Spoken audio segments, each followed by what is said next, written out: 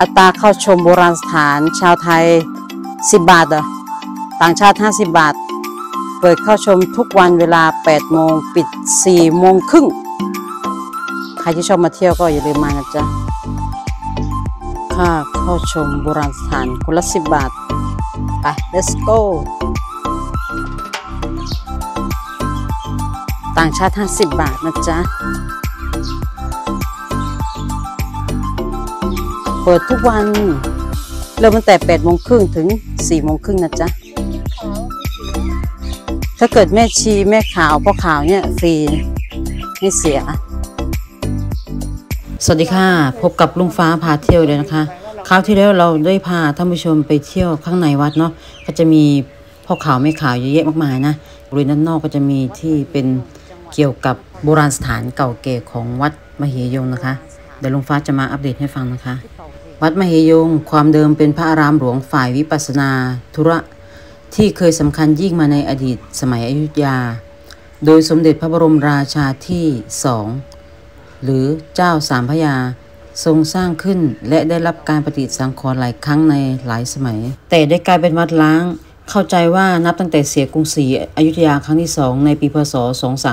2310 รวมเวลาล่วงเลยมา 200 กว่าปี ปัจจุบันเป็นวัดล้างที่สภาพโบราณสถาน และโบราณวัตถุที่ยังเหลืออยู่ได้ปรักหักพังไปมากแล้ว แต่ก็พอมีเขาเป็นหลักฐานบ่งบอกถึงศิลปะ การก่อสร้างอันประเพณีงดงามมโหฬารและระดับความสำคัญของพระอารามหลวงแห่งนี้ได้เป็นอย่างดีนะคะ ตามแนวความคิดทางประวัติศาสตร์ และโบราณคดีเกี่ยวกับการสร้างวัดมเหยง ได้แตกออกเป็นสองแนวทางคือ ตามพงศาวดารที่เหนือได้บันทึกไว้ว่า พระนางกรยานีม มเหสีของพระเจ้าธรรมาราชา พศ 1844 ถึง 1853 กษัตริย์องค์ที่ 8 ของอยุธยาเป็นผู้สร้างวัดมเหยง ซึ่งแสดงว่าวัดมเหยงสร้างในสมัยอยุธยาก่อนตั้งกรุงศรีอยุธยาอย่างน้อย 40 ปี ส่วนพงศาวดารฉบับราชาหัตถรีขากล่าวว่าสกราช786 มาลงศก พศ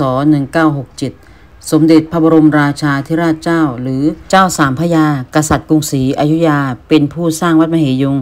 ขณะที่พงศาวดารฉบับหลวงประเสริฐอักษรนิติกล่าวว่าสกราช800มะเมียศกพศ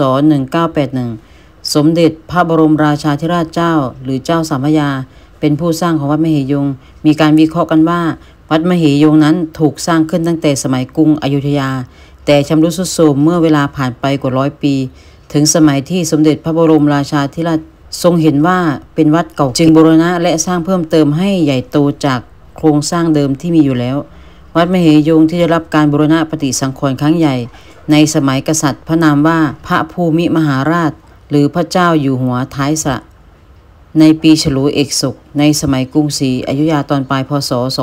2252 วัดมเหยงได้เจริญรุ่งเรืองอย่างมากในสมัยกรุงศรีอยุธยา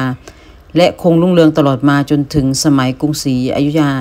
แตกในพศ 2310 ภายในวัดมเหยงมีพระอุโบสถ ตั้งอยู่บนฐานสูงสองชั้นลดหลั่นกันมา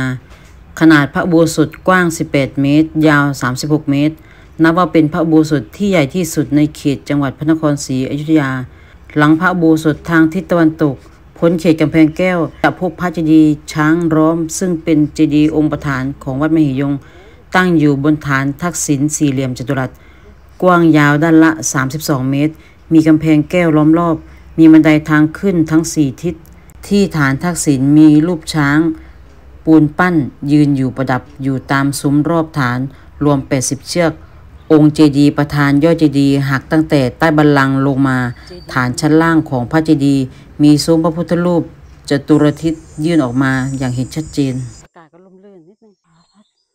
อืมเนี่ย มีเสมาคู่คือพระอารามหลวงไง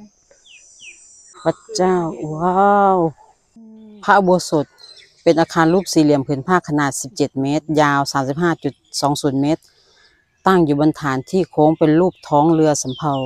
ซึ่งเป็นรูปแบบของอาคารที่นิยมสร้างในสมัยอยุธยาตอนปลาย ผนังด้านหน้ามีมุกยื่นออกมาทางด้านหน้าและด้านหลัง มีบันไดทางขึ้นทั้งสองด้าน และมีประตูทางเข้าที่ผนังด้าน ด้านหน้า มีประตูเข้าที่ผนังด้านหน้าสามประตู ซึ่งประตูช่องกลางเป็นประตูของมุก ส่วนด้านหลังมีสองประตู จากการศึกษาทางด้านโบราณคดี พบว่าพระอุโบสถหลังนี้ สร้างทับซ้อนบนรากฐานอาคารเดิมในสมัยอยุธยาตอนต้น โอ้โห ยาวนานมากเนาะเห็นนี่เลยเนะ เป็นอย่างไรบ้างท่านผู้ชมเนาะวันนี้ก็ลุงฟ้าพามาเที่ยววัดมเหยงตั้งแต่เช้าแล้วขึ้นรถไฟมาจากสถานีบางซื่อเนาะแล้วก็มาลงที่อยุธยานะ จากนั้นก็นั่งมอไซค์วินมา 60 บาท ขึ้นรถไฟมา 20 บาทนะมาจากบางซื่อมาลงอยุธยาเนาะพาทุกท่านมาเที่ยวชมวัดมเหยงเป็นไงสวยไหมสวยมากเลยเนาะก็จะมีที่ให้ถ่ายรูปเยอะมากมาย แล้วก็ศึกษาประวัติศาสตร์เยอะแยะมากมายเลยนะ ครคิดว่าคลิปนี้ดีมีสาระก็อย่าลืมฝากกดติดตามกดไลค์กดแชร์ให้กับช่องรุ่งฟ้าพาเที่ยวด้นะคะ เดี๋ยวยังไงเดี๋ยวเจอกันคลิปวิดีโอหน้านะคะสำหรับวันนี้บ๊ายบาย สวัสดีค่ะมารูปภาพบ้านเลย